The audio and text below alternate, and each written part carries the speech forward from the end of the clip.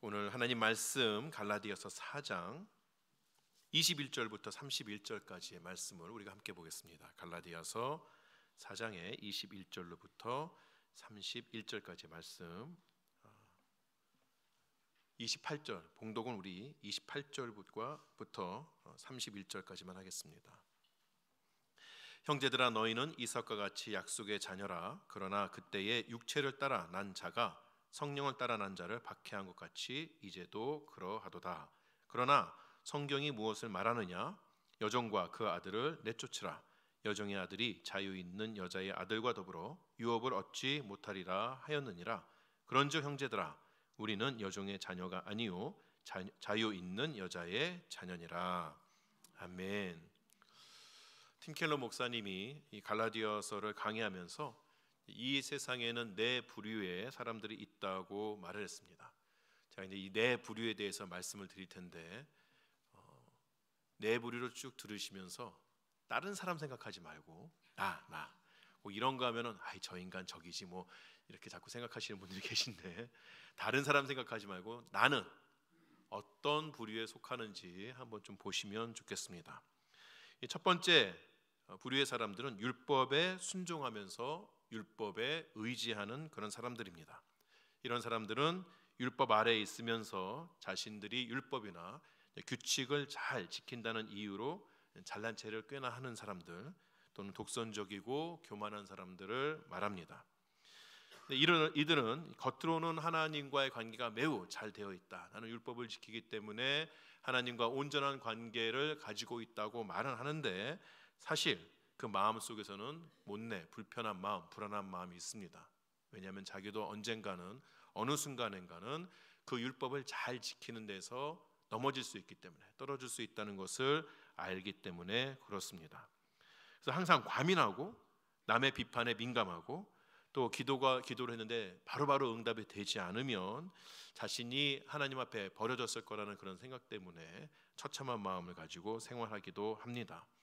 이런 부류의 가장 대표적인 사람들이 예수님 시대의 바리새인들이라고 이야기할 수 있습니다. 두 번째 부류의 사람들은 율법에 순종하면서 율법에 아, 율법에 불순종하면서 율법에 의지하는 그러한 사람들입니다. 이들 역시 어, 자신의 행위로 의로움을 이루어야 한다는 그러한 종교적인 의식이 강한데 자신들이 주장하는 것만큼 율법을 잘 지키면서 살아내지는 못합니다. 그래서 자신들의 부족함을 알기 때문에 이 첫 번째 있는 사람들보다는 훨씬 더 다른 사람들에게 어, 겸손하고 관용적인 태도를 보이는 것이죠. 하지만 그들 자신에 대한 죄책감이 훨씬 큽니다. 그렇지 않겠습니까? 내가 율법을 잘 지켜야 되는데 그래서 내가 의로움을 이루어야 되는데 그러지 못한다라고 생각하니 늘 어, 자신에 대한 죄책감이 어, 크고 그렇기 때문에 사람들이 모였을 때에 어떠한 종교적인 이야기 하는 것을 상당히 꺼려 합니다. 세 번째 부류의 사람들은 율법에 불순종하면서 율법에 의지하지도 않는 사람들입니다. 이러한 사람들은 그 삶 가운데 또 머릿속에 하나님의 율법, 하나님의 의로움 이런 것이란 개념이 아예 없는 사람들인 것이죠. 이들은 어, 누가 선한 누가 좋은 사람이냐, 누가 나쁜 사람이냐, 무엇이 선하고 악한 것이냐의 기준을 자기 자신이 만들어내면서 아 나는 이 정도면 괜찮은 사람이야라고 말하는 사람들입니다. 하지만 이들도 역시 어, 하나님의 형상으로 만들어진 창조된 사람들이기 때문에 무의식적으로 그들의 입술로는 하나님, 신 이러한 것을 말하지 않는다고 하여도 신의 존재에 대해서 인정을 하게 되고 자신의 어, 인정을 하게 되는 것이죠. 그러나 신이 있다. 이 세상에 뭔가 어떤 불가항력적인 그러한 어, 어, 능력 또는 힘들이 있다라고 생각을 하면서도 여전히 자기 자신을 하나님의 뜻을 따라서 살기를 어, 바라지 않고 자기 자신의 뜻대로 살기를 원하는 것이죠. 그래서 이들은 다른 사람들보다 조금 더 우월하게 살기 위해서 끊임없이 노력하고 다른 사람들보다 조금이라도 우월하게 되면 자신을 의롭다고 생각하는 그러한 사람들입니다. 마지막 네 번째 부류의 사람들은 율법에 순종을 하지만 율법에 의지하지 않는 부류입니다. 복음을 깨닫고 복음의 자유를 누리며 사는 그러한 그리스도인들이 바로 이러한 사람들입니다. 율법에 순종을 하지만 그 율법에 의지하는 것이 아니라 하나님의 은혜에 의지하면서 살아가고 또 하나님의 자녀로서의 감사와 기쁨으로 순종하는 어떤 의무감이나 죄책감 때문에 하나님의 뜻을 따르는 것이 아니라 하나님께서 나에게 은혜를 주셨기 때문에 그 뜻을 그 은혜에 감격하여서 하나님의 뜻을 살아 나아가는 사람들이다라고 이야기할 수가 있는 것이죠. 자, 우리는 몇 번째 사람이 되어야 할까요? 문제가 어렵습니까? 이 앞에 찬양대 빼고는 답을 안 하시는데 헷갈리세요 지금? 우리는 어딘가? 자, 아까 제가 이거 보여드리기 전에 질문은 여러분이 어디에 속한 사람이었습니까?였고 지금 드린 질문 다른 겁니다. 여러분은 우리는 어떠한 사람이 되어야 합니까?인 것이죠. 당연히 우리는 4번이 되어야 하는 것이죠. 우리의 신앙의 모습, 신앙의 목표는 바로 그런 것입니다. 율법에 순종합니다. 하나님 뜻을 따라서 살아갑니다. 그러나 그것으로 구원을 얻는 것이 아니라는 것을 압니다. 그것에 의지하지 아니하고 철저하게 하나님의 은혜에 의지하면서 살아가는 것이 우리의 모습이 되기를 바라는 것이죠. 우린 다 압니다. 네 번째 부류에 들어야 하는 것을 알지만 여러분은 몇 번째 부류에 지금 속해 있는가는 대답 안 하셔도 됩니다. 굳이 뭐 혼자 아시면 됩니다. 대부분은 네 번째로 잘 살아가지 못한다는 것이에요. 그럴 때도 있지만 아닐 때도 많다는 것이죠. 1번이나 2번의 모습으로 살아가게끔 되고 아주 약간은 3번의 모습으로 살아갈 때도 있는 것이죠. 마치 하나님 없는 것처럼 그렇게 살아갈 때도 있다는 것이에요. 갈라디아 신자들도 그랬습니다. 갈라디아 신자들이 지금 바울이 전해준 복음의 진수를 잃어버리고 유대주의자들의 꼬임에 넘어가서 바리새인처럼 살기를 바랬던 것이에요. 바울은 이 갈라디아서를 통해서 율법에 순종하면서도 율법에 의지하지 않는 그러한 모습으로 즉 복음이 주는 자유와 기쁨으로 하나님을 섬기는 그 모습으로 돌아오라고 이야기하고 있는 것입니다. 그런 내용을 가지고 이 갈라디아서가 쓰여졌고 그 율법에 어, 율법에 의지하지 않는 사람이 곧 그리스도인이다를 갈라디아서 1장부터 4장까지 신학적인 배경을 가지고 설명을 합니다. 그리고 5장 6장에 있어서는 그럼에도 불구하고 우리는 율법에 순종하며 살아야 한다는 것을 이야기하는 것이죠. 오늘 우리가 보는 본문이 4장의 마지막 부분입니다. 그러니까 즉 1장부터 쭉 이어왔던 우리는 율법에 의지하면서 사는 사람이 아니라 은혜에 의지하면서 사는 사람이라는 것을 총 정리해 주는 듯한 그러한 분, 어, 부분이라고 이야기할 수가 있겠습니다. 이 사도 바울이 그 마지막 부분을 시작을 하면서 21절을 보게 되면 율법 아래 있는 자들아라고 부릅니다. 한 번 더 말씀드리지만 바울이 지금 율법 지키는 것 자체를 문제 삼는 것이 아닙니다. 하나님의 율법을 지키는 것은 이 세상에 있는 모든 자들, 꼭 신자만이 아니라 사실은 불신, 불신자들도 그렇게 살아야 하는 것이죠. 하나님의 율법, 하나님의 뜻대로 살아가는 것은 모든 사람들이 힘써야 하는 그러한 부분입니다. 다만 하나님 앞에서 율법을 지키는 자신의 의로움, 그 의로움으로 구원을 얻어내려고 하는 것, 하나님의 백성의 자격을 얻으려 하는 그러한 사람들, 그러한 사람들을 책망하는 것이에요. 율법주의자, 유대주의자들은 하나님께서 아브라함과 맺은 신적 언약의 혈, 혈, 언약이 그 혈통을 따라서 이어진다. 피를 따라서 이어진다고 말하고 있고 그렇기 때문에 유대인의 피를 받은 자신들은 안전하다고 믿었습니다. 하지만 이런 유대인들의 믿음을 세례 요한도 예수님도 경고하여 주었던 것이죠. 세례 요한은 이렇게 이야기합니다. 속으로 아브라함이 우리의 조상이라고 생각하지 말라. 내가 너희에게 이르노니 하나님이 능히 이 돌들로도 아브라함의 자손이 되게 하시리라.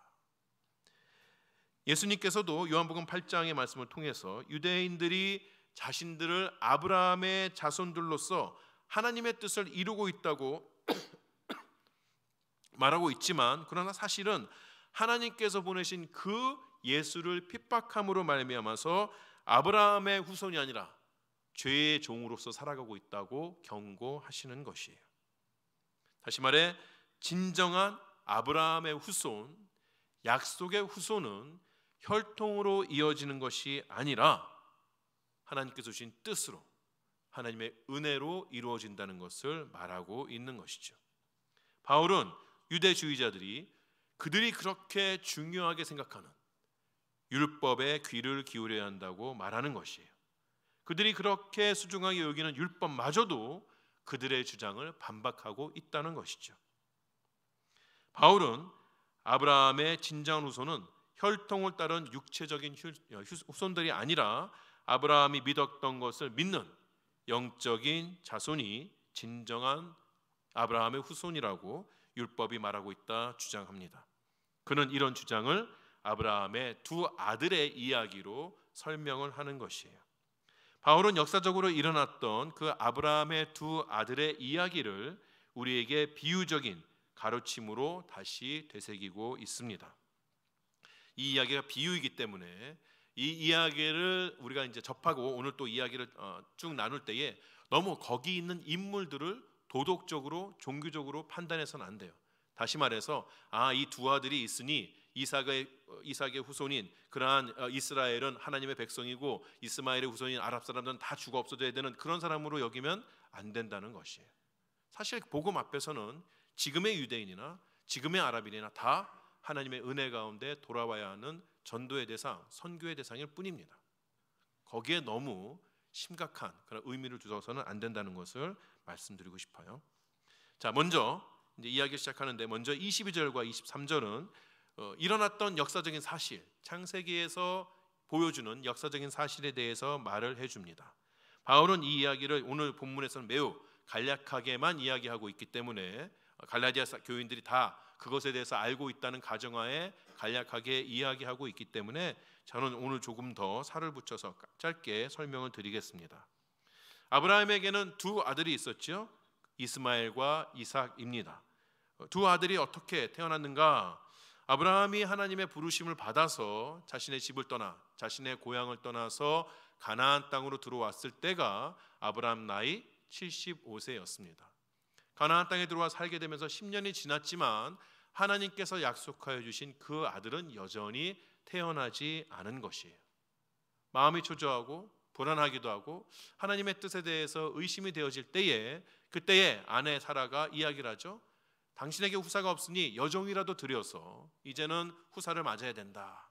그래서 아브라함이 아내의 말을 듣고 여종 하가를 들여서 그 하가를 통하여서 아들을 낳습니다. 그의 이름이 이스마엘인 것이죠. 그러나 하나님께서는 아브라함의 아들로서 이스마엘이 태어났지만 그가 하나님께서 약속하신 아들은 아니라고 이야기합니다. 그 이후로 14년이나 더 지나게 되죠. 그리고 그때서야 아브라함의 나이 100세, 사라의 나이 90세가 되어서야 약속의 아들이 사라의 몸을 통하여서 태어나게 됩니다. 그가 바로 이삭인 것이죠. 아브라함의 두 아들을 어, 두 아들을 이제 갖게 되죠. 근데 이제 바울은 이 사실을 이 역사적인 사실을 비유로 우리에게 알려준 바가 있다고 설명을 하기 시작합니다. 중요한 것은 이 두 아들에게 차이가 있다는 것이에요. 먼저는 두 아들의 어머니가 다릅니다. 하갈의 신부는 종이었던 것이죠. 그래서 이스마엘은 종이었던 어머니를 따라서 종으로 태어나게끔 됩니다. 이에 비해 이삭은 자유 있는 여자 아브라함의 아내인 사라의 몸에서 태어남을 말미암아 스스로 아, 이 태어날 때부터 자유인으로 태어나게끔 되는 것이죠. 어머니가 다르다는 것이 중요합니다. 두 번째로 중요한 차이는 그들이 다른 방식으로 태어났다는 것이에요. 이스라엘, 아, 이스마엘은 어, 종의 몸에서 육체를 따라 즉 자연적인 방식으로 태어났습니다. 이에 비해 이삭은 자유인의 몸에서 약속을 따라 즉 초자연적인 방법을 통하여서 태어나게 됩니다. 100세의 아버지, 90세의 어머니를 둔 아들이 어디 또 있겠습니까? 저는 한 번도 들어본 적이 없는데 요거 빼고는 여러분 혹시 드러나 보셨는지 있을 수가 없는 일이죠. 자연적인 현상이 아니라 초자연적인 하나님의 능력으로 그가 태어난 것입니다. 바울은 이 이야기에 나오는 두 여자들이 두 언약을 나타낸다고 이야기합니다. 두 언약이란 옛 언약 그리고 새 언약인 것이죠. 하나님께서는 모세를 통하여서 옛 언약을 세우셨습니다. 그리고 그리스도를 통하여서 새 언약을 세우셨습니다. 옛 언약이란 율법에 근거한 것입니다. 그리고 새 언약이란 약속에 근거한 것입니다.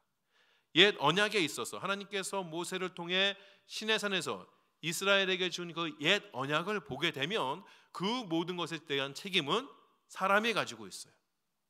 그것을 지키느냐, 그것을 깨뜨리느냐, 그 책임이 사람에게 있다는 것이에요. 그래서 하나님께서는 너는 이것을 해야 된다, 해야 하지 말아야 한다를 반복해서 말씀하여 주고 있는 것이죠. 이에 비해 새 언약에서는 그 모든 것에 대한 책임이 하나님에게 있습니다. 새 언약을 통해서는 하나님께서 너는 이거 해야 된다, 저거 해야 된다 이렇게 말씀하시지 않으시고 새 언약을 통해서는 내가 이렇게 이렇게 하겠다고 말씀하세요. 언약을 깨뜨리고 언약을 이루는 것에 대한 그 주체가 누구냐? 하나님이라는 것이죠. 이럴 때에 하갈은 옛 언약을 비유합니다. 아브라함은 자신의 후손을 종을 들여서 종을 통하여서 육체의 방법으로 얻으려고 했어요. 자, 이때에 후손을 얻게 되는 그 과정의 주체가 누구인가요? 하나님이 아니에요. 아브라함인 것이죠. 아브라함이 스스로 종을 통하여서 일반적인 방법으로 후손을 얻고자 한 것입니다. 하나님의 약속은 그 안에 있지 않아요. 아브라함은 그 순간만큼은 스스로가 구주가 되려고 했던 것이죠. 그 순간만큼은 자신이 자신의 삶의 주인이 되고자 했던 것입니다. 그 결과가 무엇이죠? 처참한 실패였던 것이죠. 하나님께서는 그 아들을 약속의 후사로 인정해 주지 않았을 뿐만 아니라 그 아들이 태어남으로 인하여서 아브라함의 집안에 여러 가지 어려움들이 생겨나게 되고 결국 그 아들은 아브라함의 아들임에도 불구하고 쫓겨남을 당하게 되는 것이에요. 인간은 그리스도로 이루어진 그리스도 하나님께서 그리스도를 통하여서 세우신 새 언약 안에 들어오기 전까지는 모두 다 이 하갈의 아들 이스마엘과 같은 존재입니다. 하나님의 은혜를 의지하지 않고 신의 산의 율법, 즉 자신의 힘으로 스스로 구원하려 하기 때문에 그런 것이에요. 하지만 그 결과는 자신의 힘으로 아무리 열심히 했다고 하여도 좋은 계획을 세웠다고 하여도 그러나 그 결과는 종의 모습으로 사는 것이고 인생의 영적인, 심리적인, 관계적인 깨어짐을 경험을 경험하면서 그러한 것들, 그 고통을 반복하며 사는 것이 그것이 바로 이스마엘과 같은 삶, 옛 언약 안에 있는 삶이라는 것입니다. 반대로 사라는 새 언약을 나타냅니다. 하나님께서는 사라를 통하여서 약속의 아들을 주신 것이죠. 하나님께서 사라의 임신이 불가능해질 때까지 기다리셨다가 불가능해, 불가능해진 다음에야 그에게 아들을 주셨어요. 왜 그랬을까요?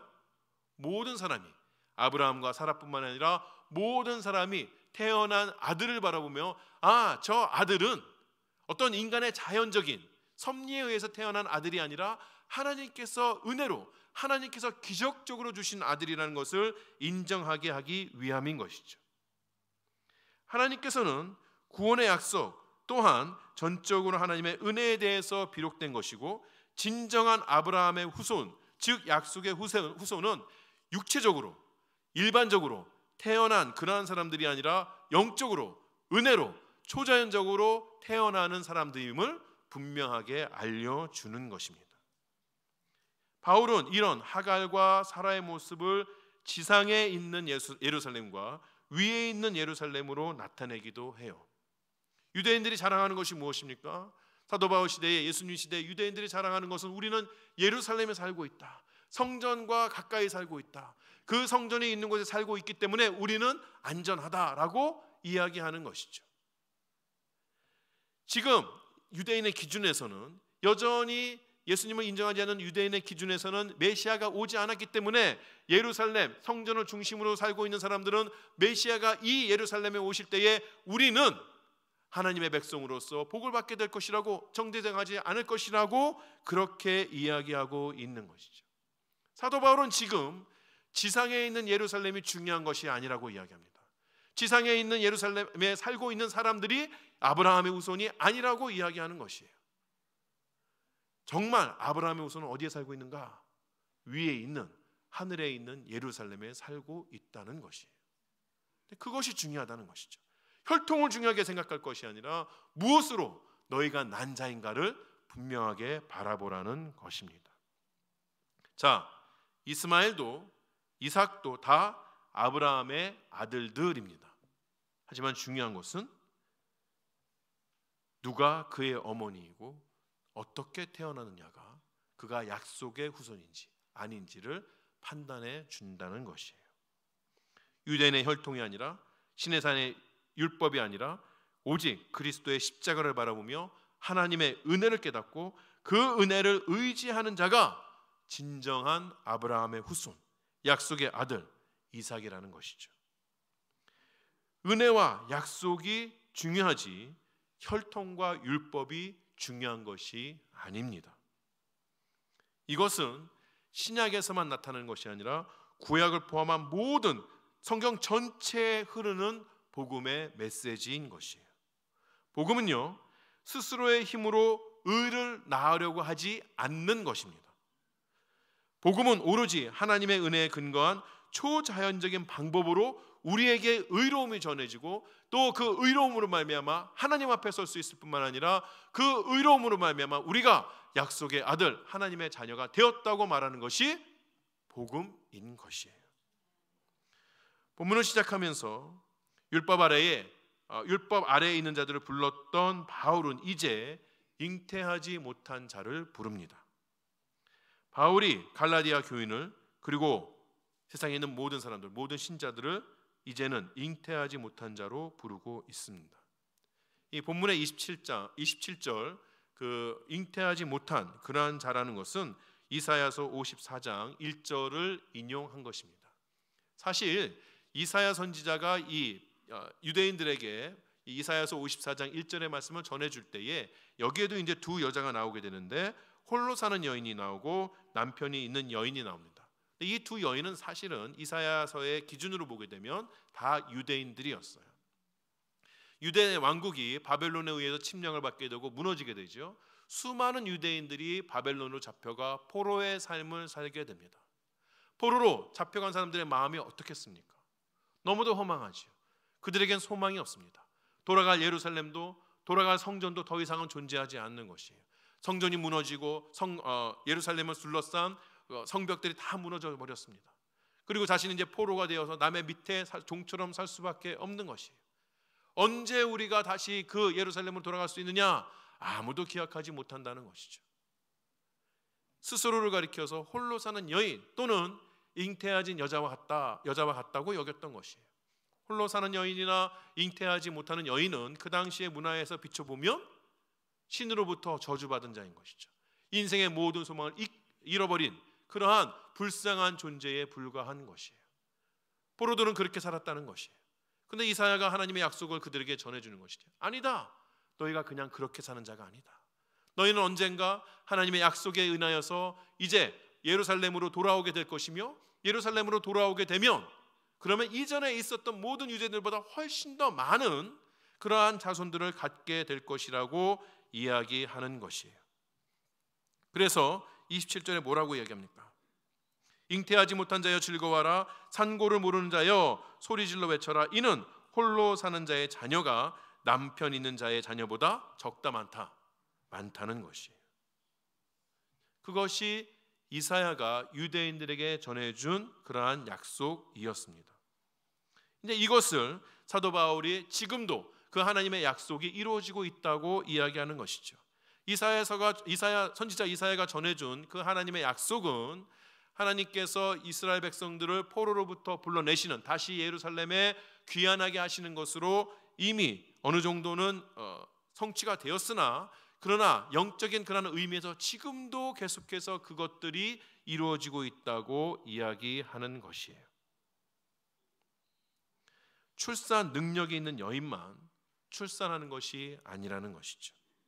그런 능력이 없는 잉태하지 못하는 여인도 출산을 할 수 있다는 것입니다. 대표적인 예가 아까 보았던 사라가 되는 것이에요. 하나님의 은혜는 하갈처럼 아이를 낳을 수 있는 이들에게만 아니라 사라처럼 잉태하지 못하는 이들에게도 주어지는 것입니다. 자신의 어, 자신이 의로움이라는 아이를 스스로 출산할 수 없다는 것을 깨닫고 슬픔과 낙심 가운데 사는 사람들, 자신이 마치 저주를 받은 자처럼 사는 그러한 사람들에게 복음이 주어진다는 것이에요. 이 복음으로 인해서 잉태하지 못한 자가 자녀를 낳게 되고 그 자녀의 수가 셀 수 없이 많아질 거라는 것이 복음을 통한 그리스도를 통한 하나님의 약속이며 하나님의 일하심이라는 것을 사도 바울이 이야기해 주고 있는 것이에요. 여러분 우리는 이 시대의 모든 신자들이 잉태하지 못한 여인이기도 하면서 약속의 후손인 이삭과 같다는 것을 인정하고 알아야 하는 것이에요. 인간의 능력이 아닌 하나님의 은혜로 그의 자녀가 된 자들입니다. 우리는 하나님의 자녀가 되기 위해서 그의 사랑, 사랑과 은혜를 받기 위해서 유대인이 될 필요가 없다는 것이죠. 율법을 의지할 필요가 없다는 것입니다. 하나님께서는 이미 그 모든 일을 그리스도의 십자가를 통하여서 우리에게 이루신 것이에요. 우리는 약속의 후손처럼 살면 되는 것입니다. 때로 우리의 모습이 연약하고 때로 우리의 모습이 경건하지 못하는 그 순간에도 우리를 하나님의 약속의 자녀로 삼게하는 것은 나의 그러한 모습이 아니라 나를 향한 하나님의 은혜이며 나를 위하여 죽으신 그리스도의 십자가를 통하여서 되는 것임을 알고 그 자신이 가지고 있는 정체성을 분명하게 인식하고 살아야 할 필요가 있다는 것이에요. 그 시작이 다르면 중간도 다르고 끝도 다른 것이에요. 그 시작이 다르면 그 시작을 이해하지 못하면 우리는 아무리 열심히 주님 앞에서 애쓰고 살아나간다고 하더라도 아까 제가 처음 말씀드린 것처럼 일본의 사람들처럼 늘 불안한 가운데 살아야 하며 늘 민감하게 살아야 하며 늘 다른 사람들 정죄하고 판단하고 비교하며 살 수밖에 없다는 것이에요. 그런 삶이 우리의 삶이 아닙니다. 우리의 약속에 후손된 것은 하나님의 은혜로 된 것이기 때문에 변하지 않는 것이고 변하지 않기 때문에 우리에게 평안을 줄 수가 있다는 것입니다. 우리 옆에 계신 분들에게 말씀하실까요? 당신은 약속의 자녀입니다. 그렇게 이삭과 같은 약속의 자녀가 되었다면 우리가 기억할 것이 있습니다. 첫 번째는 이삭에게 박해가 있다는 것이에요. 다 좋은 줄 알았더니 좋지가 않지요. 본문 29절 제가 다시 한번 읽겠습니다. 그러나 그때에 육체의 육체를 따라 난 자가 성령을 따라 난 자를 박해한 것 같이 이제도 그러하도다. 자, 여기서 육체를 따라 난 자가 누군가요? 이스마엘이죠. 성령을 따라 난 자는 이삭입니다.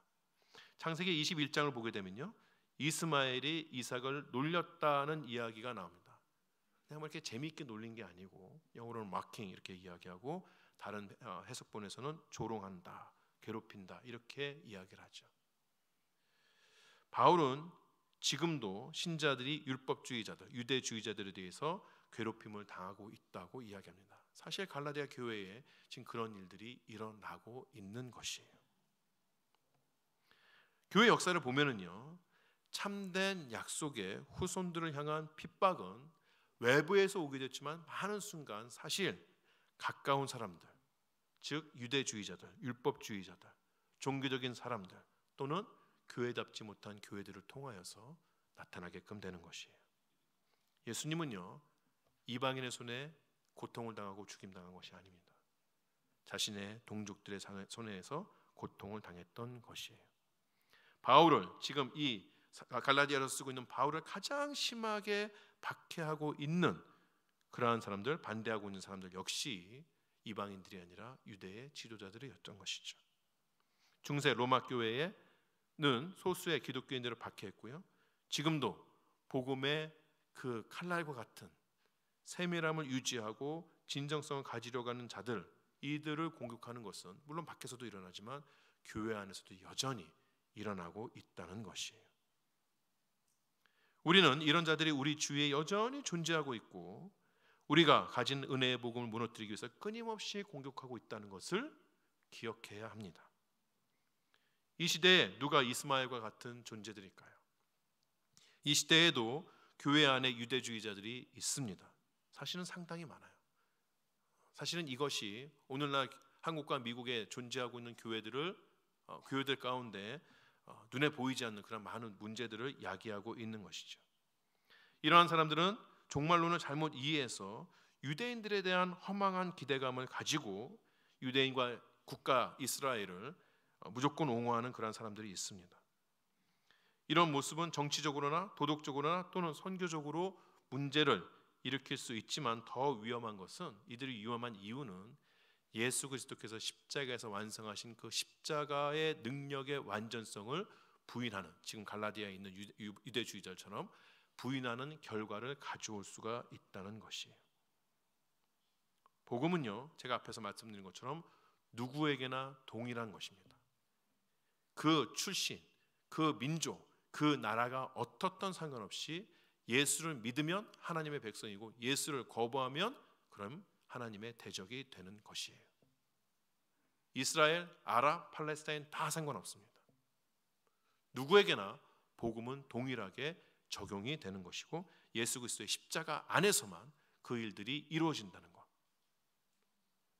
그들이 유대인이라 할지라도 예수 그리스도를 구주로 영접하지 않는 성경에 써 있는 신규약을 통틀은 복음을 복음에 있는 그대로 받아들이지 않으면 그들은 하나님의 대적일 뿐이에요. 물론 그들도 역시 하나님 앞에 돌아와야 하는 그러한 백성인 것은 잃어버린 백성인 것은 분명하죠. 여러분이 유튜브 같은 거 보시면 이러한 사람들의 그러한 이야기들을 참 많이 보실 수 있고 한국이나 미국 교회에서도 이러한 분, 이러한 운동들 하는 분들을 서포트하는 많은 교회들이 있습니다만 제가 시간 관계상 뭐 자세하게 말씀을 드리지는 못하지만 어, 그것만큼은 중요합니다. 복음은 복음일 뿐입니다. 복음에서 조금이라도 벗어나게 되면 그건 하나님께서 가증스럽게 여기시는 것이에요. 제가 뭐 단적으로 이렇게 말씀을 못 드리겠지만 그냥 전반적으로 볼 때에 제가 그 개개인 단체나 개개인을 전부 다 알지 못하기 때문에 다 반드시 이렇습니다 이렇게 말씀 못 드리는데 혹시라도 이스라엘 국기 갖고 나오시는 분들 어, 한 번쯤은 더 생각해 보실 필요가 있어요. 왜 그들이 이스라엘 국기를 가지고 나올까? 그런 것에 대해서는 조금 더 생각해 볼 필요가 있습니다. 제 마음에 성령께서 더함을 주시면 나중에 좀 이해하기를 좀 더 할 수 있는데 뭐 그 정도만 아시면 될 것 같아요. 아, 또 중요한 것 제가 다시 말씀드리는데 복음의 아주 내로한 그 좁은 문을 우리는 지킬 수가 있어야 하는 것이에요. 종말이라고 해서 헛된 기대감을 가지면 안 됩니다. 또한 우리 스스로가 이스마엘이 될 수 있다는 것을 인식해야 합니다. 갈라디아서를 쭉 진행하면서 저에게 드는 생각은 교회 안, 저를 포함해서 교회 안에 누구나 다 어느 순간 이, 시대에 이스마엘이 될 수가 있다는 것이에요. 자신의 연약함을 이기지 못하며 살고 있지만 그럼에도 불구하고 복음으로 하나님의 은혜로 매일매일 살아가려고 몸부림치는 그러한 사람들에게 율법과 규칙을 들이대면서 구원받은 자의 기쁨과 평안을 빼앗는 일을 우리는 서로에게 할 수 있다는 것이죠. 내 삶은 힘겨워요. 그래서 나는 은혜로 살아도 돼요. 저 사람은 살만해요. 그런 율법을 따라 살아야 돼요. 무슨 말인지 아시겠어요? 나는 하나님의 은혜이기 때문에 무조건 사랑을 받아야 되는 존재인데 저 사람은 저 정도 살고 저 정도의 교회에서의 직분이 있고 저 정도의 어떤 누, 많은 것들을 누리고 있기 때문에 너는 왜 예수님 따라 예수 아니, 율법을 따라 하나님의 뜻을 따라 살지 못하냐고 손가락질할 때에 그때의 우리의 모습이 이 시대의 이스마엘이 아닌가 생각해 볼 필요가 있다는 것이죠. 교회 안에서 형제 자매로서 서로를 격려하고 경책하는 것 반드시 있어야 됩니다. 옆에 형제 자매가 죄를 지어도 괜찮다 사랑으로 덮으면 되지 우리가 뭐 다 그런 거 아니냐 이것은 교회를 무너뜨리는 일입니다.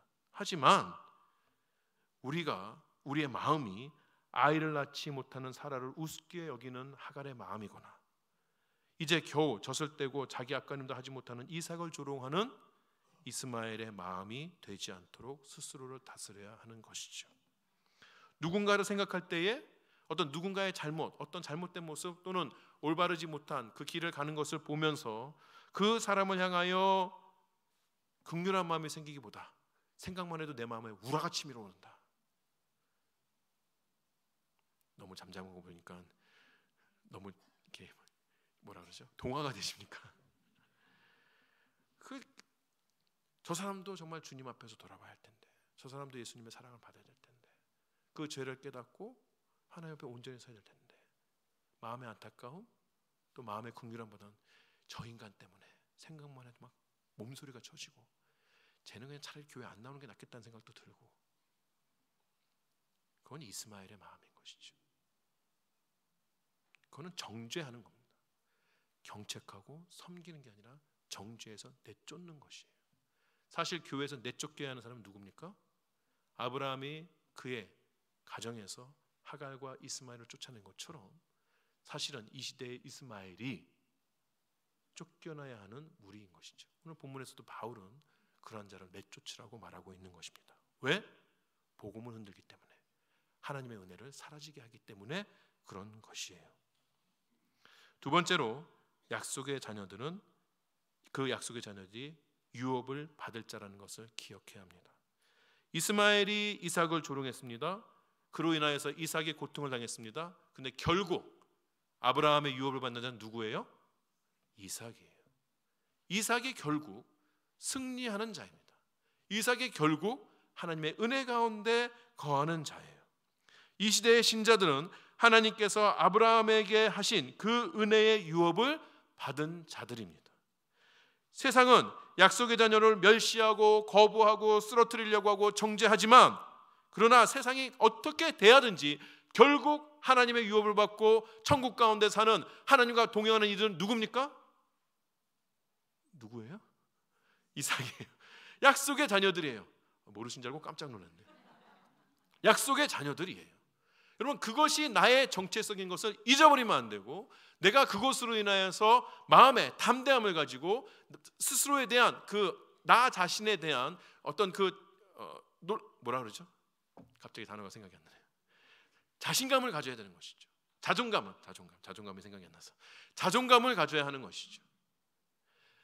내가 그러한 하나님의 약속을 위협으로 받는 사람임에도 불구하고 세상이 나를 인정해 주지 않는다고 세상이 나를 억누른다고 하여서 그 정체성은 버려버리고 세상에 주는 무엇인가를 가지고 가지려고 할 때에 그것이 그러한 시도들이 나의 삶을 더욱더 부유하게 하고 풍족하게 하고 더 잘 살게 하는 것이 아니라 나를 무너뜨린다는 것이에요. 결국 신자가 승리하는 것입니다. 결국 약속의 자녀들이 하나님께서 이 땅 가운데 주시는 유업을 받는 복을 받는 자라는 것을 우리는 기억해야 하는 것이에요. 그렇기 때문에 우리는 모든 죄를 사하시고 우리를 영생으로 이끄신 예수 그리스도의 십자가가 가진 완전성에 무엇인가를 더하려서는 안 된다는 것이에요. 사랑하는 세미한 성도 여러분, 우리가 다 약속의 자녀입니다. 한 번만 더 하실까요? 옆에 계신 분들에게 당신은 약속의 자녀입니다. 그렇다면 약속의 자녀처럼 약속의 자녀답게 사시기를 바랍니다. 십자가만 바라보고 그 십자가를 전적으로 의지하면서 오늘 우리에게 주어진 하나님의 은혜를 기뻐하고 감사하는 삶을 사시기를 바랍니다. 이번 한, 주간, 한 주간도 잉태하지 못하는 자를 통해서 약속을 이루시는 잉태하지 못하는 자에게 복을 더하여 주시는 그 하나님과 동행하시는 복된 날을 보내시길 주의 이름으로 축원합니다. 기도하시겠습니다.